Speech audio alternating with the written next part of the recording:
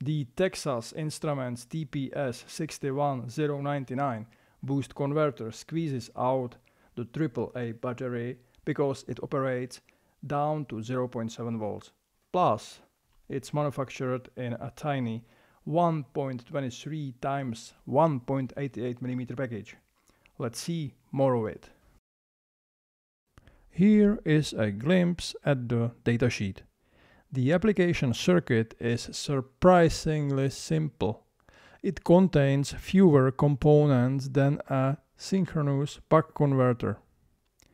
My KiCad schematic contains the same boost circuit, plus I added a toggle switch based on the D-type flip-flop 74HC74. The toggle switch controls the low resistance P-channel MOSFET for 8 white LEDs.